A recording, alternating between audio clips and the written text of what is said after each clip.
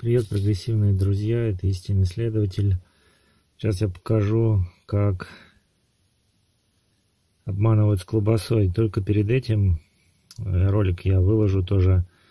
Там э, колбаса, дымов, по-моему, праздничная, как будто она 1000 рублей стоила, как будто они снизили и за 500 ее продавали.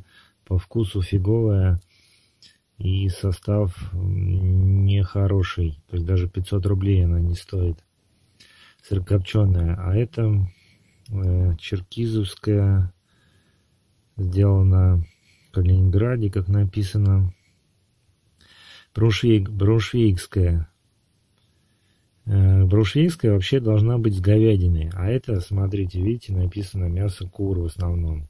Совый белок, хламина, ну колбаса так на троечку средненькая. То есть она за 400 рублей лучше, чем та, как, как будто, которая за 1000 рублей продавалась.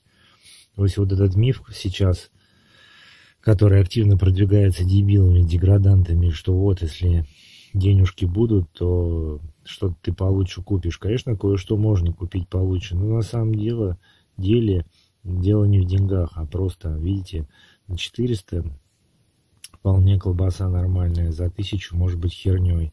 Дело в том, что просто вас э, есть как бы воровы, и вас должны постоянно обманывать. Вот в этом суть. Вы ничего не можете понять, сколько стоит, какой сорт.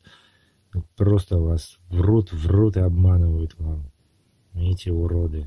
И государство не будет вас защищать, оно само вас и обманывает. Всем спасибо, пока. Это был следователь про колбасу из курицы.